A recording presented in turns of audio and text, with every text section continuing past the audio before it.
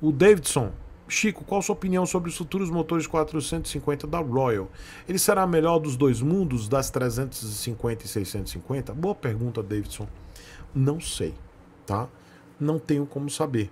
Eu espero que esse motor 450 ele seja equivalente a esses motores que a Bajaj fabricou, produziu para Triumph 400, que está na faixa dos 40 cavalos, talvez mais o da Royal, vamos ver se tem, vai ter mais de 40 cavalos, se vai ter menos, se vai ter 40.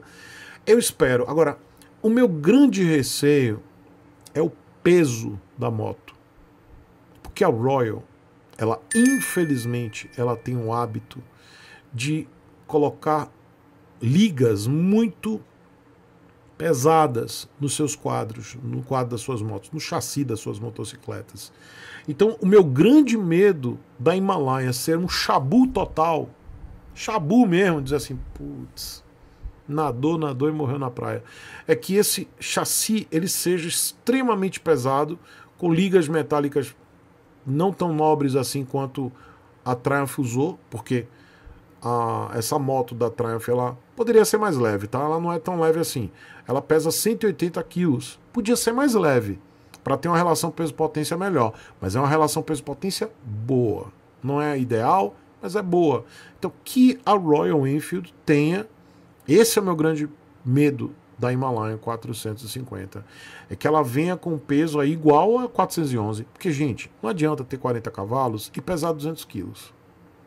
A relação peso-potência vai lá para cucuia. Tá? Só para vocês terem ideia de relação peso-potência,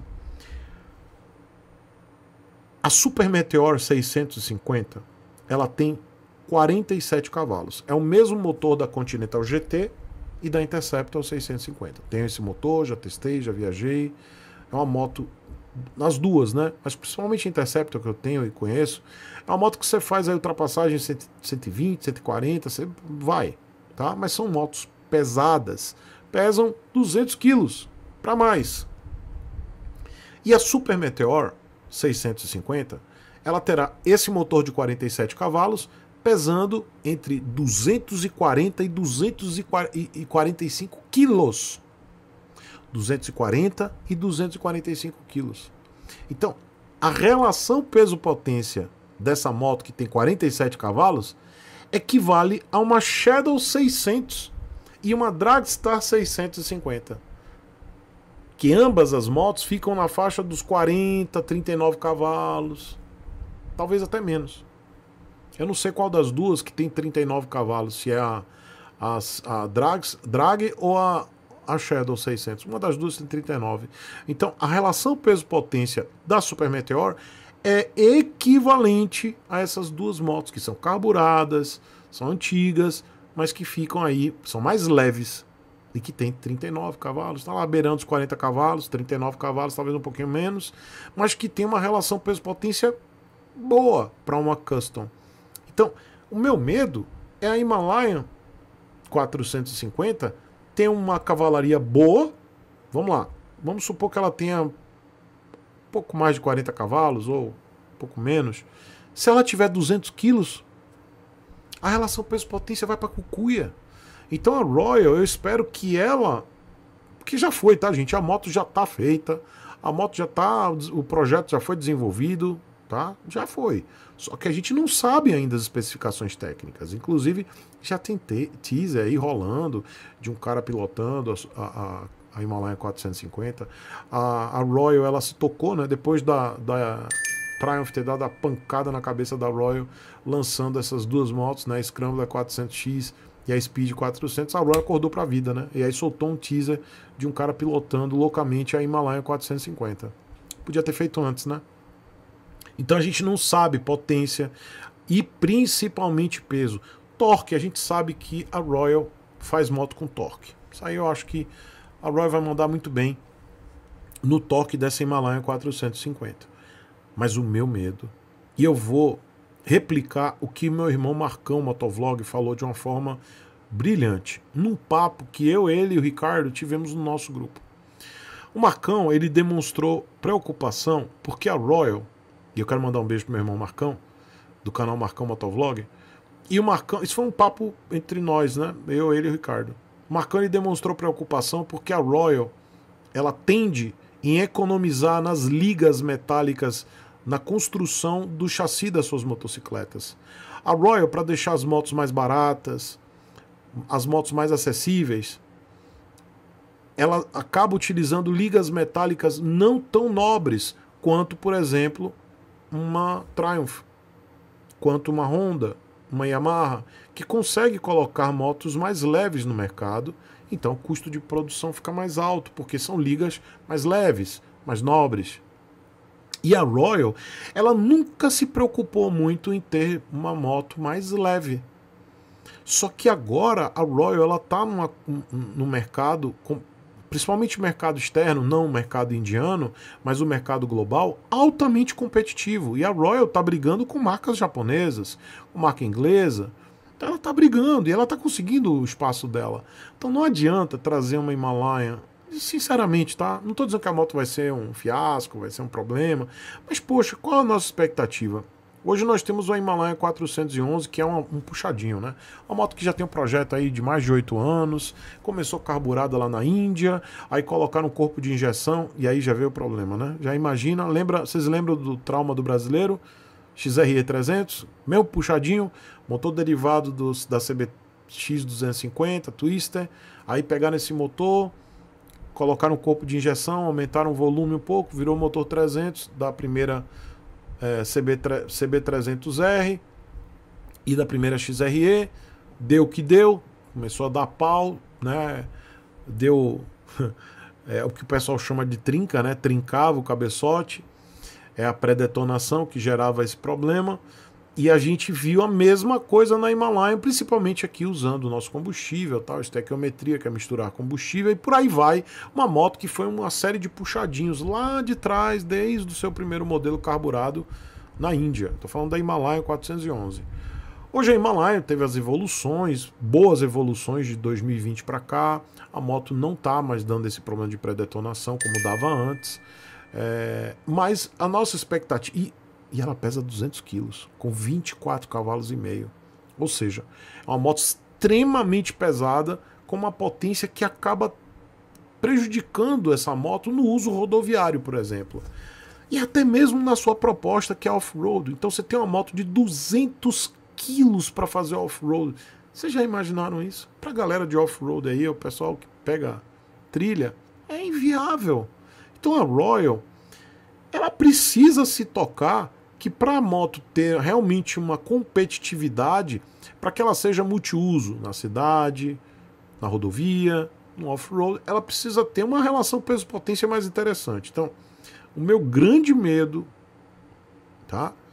Eu acredito que a moto vai ser um sucesso, a Himalaia 450. Eu não estou dizendo que vai ser flopada, que vai dar zerda, não, não, sério mesmo.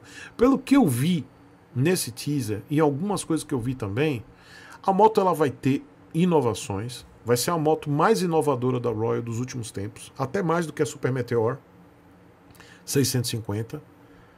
Mas, independente se vier, vier com motor com a potência boa, bom torque, que eu acredito que virá assim, a minha maior preocupação é o peso da moto. Peso e ordem de marcha. Peso da moto pronta para rodar. Se ela tiver o mesmo peso da Himalaia 411 não é que vai ser um fracasso, mas aí vai ficar complicado brigar com a Triumph.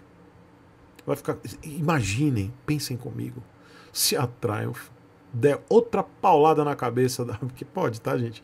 Imagina se a Triumph der outra paulada na cabeça da Roy daqui a um ano, lançando uma Tiger 400. Aí.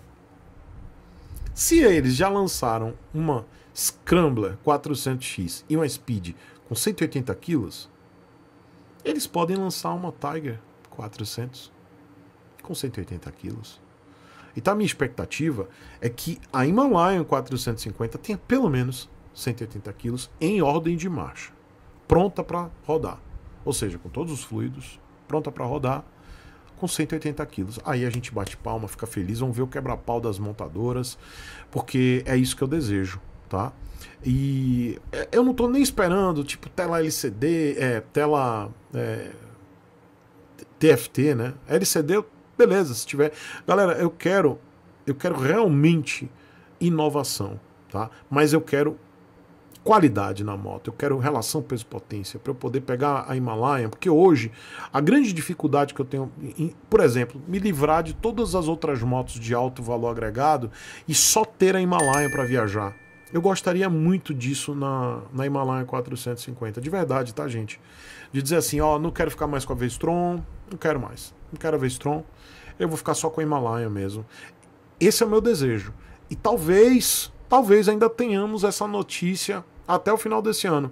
Para dizer para vocês, ó galera, vou vender minha Vestron, valeu, um abraço, não preciso mais de Big Trail, porque a nova Himalaia 450 tá com a relação peso-potência que dá para viajar, dá para botar garupa, dá para botar peso.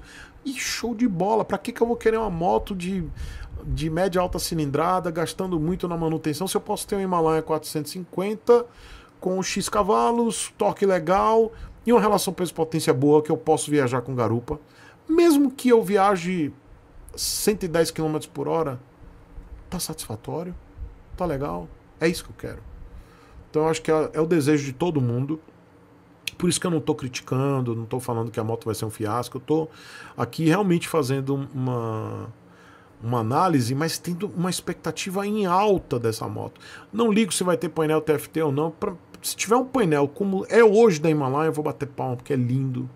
Tá? Eu já vi a moto, já olhei assim, já gostei do design da moto, achei legal. Eu gosto da Himalaia, eu gosto, mas hoje o meu desejo é ter a Himalaia para fazer tudo. Eu queria ter Himalaia para rodar na cidade, para viajar, para pegar uma, uma estrada não pavimentada e poder viajar com garupa, com malas laterais da Royal que eu tenho, usar os mesmos equipamentos que eu tenho na minha Himalaia 411 e dizer assim: trans, o pessoal de Campinas transfere aí para minha 450 e eu não vou precisar me preocupar em ter uma moto de média alta, porque a, Himalaia 450 me atende em tudo. Ah, tio Chico, mas você não vai é, dar pau em Hayabusa. Eu não quero dar pau em Hayabusa, tá tudo certo. Eu já viajo de Himalaia, galera, a cento... É porque eu viajo sozinho, eu não viajo com garupa. A 110, 120, tá tudo certo. Né? Não, não passo de 130, não dá. Com peso, com tudo mais, não dá. A moto realmente fica complicada. Mas, pô, se eu conseguir viajar a 120 por hora no Himalaia 450 com garupa 110, com garupa, tá show de bola, com peso, com garupa, né, com carga. Aí sim vai estar tá legal. E tudo isso depende muito da relação peso-potência. Então vamos torcer, porque muita gente, galera, é sério. Se a Himalaia 450 chegar num preço bom, competitivo, e ela tiver uma relação peso-potência, se ela chegar com a mesma configuração de uma Triumph Scrambler 400X, muita gente, eu estou cravando, muita gente vai pegar sua Big Trail e que gosta, claro, da pegada da, da Himalaia, quem não gosta não vai fazer, mas muita gente vai pegar sua Big Trail, vai vender e vai menos é mais. Vai pegar a Himalaia e vai dizer menos é mais, tá tudo certo. Menos problema de insegurança, menos seguro a pagar, manutenção mais barata, porque em relação a Big Trail será, e tá tudo certo, menos imposto, mais economia, porque a Himalaia é econômica, tá? Então eu acho que vai ser ABS nas duas rodas que vai ter, vai ter um painel completo, vai ter conectividade muito provavelmente, pelo que eu já li lá atrás. Então eu tô na torcida, eu tô com a expectativa alta com essa moto, mas torço que a Royal tenha feito um trabalho pensado na relação peso-potência, colocado materiais nobres na liga metálica desse chassi. Vamos torcer.